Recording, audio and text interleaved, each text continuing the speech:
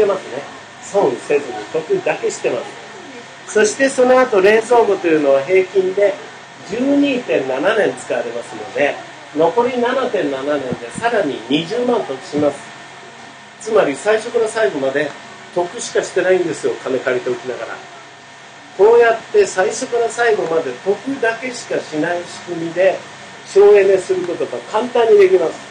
しかもこの冷蔵庫が家庭の中の最大電気消費ですから恐ろしく電気料金を下げることができますところが日本政府はさっきの3つのですねパブリックコメントの3つの案を出すときに自然エネルギーとか伸ばしていくとですね経済的負担が重くのしかかる重くのしかかるばっかり言ってるんですよ。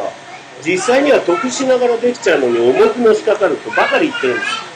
実際のところどうなるか私が提案したいのは努力忍耐は一切しなくていいからその代わり1個だけ守ってほしいんです。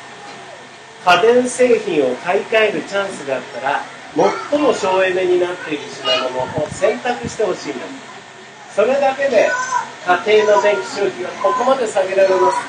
努力忍耐いらないですよ。今まで通りエアコン使っていただいて結構だし。それでも、えー、省エネ製品のおかげで半分まで減ります。この半分まで減った量を太陽光発電で賄おうと思うと従来 3.8kW 必要でした。その半分ですから 2kW で足ります。2kW の太陽光発電の屋根の広さは8畳間1つ分なんですよ。我々は屋根の上の8畳間1つ分がもったいなくて命がけで電気を作っているということになります。分かれてますね。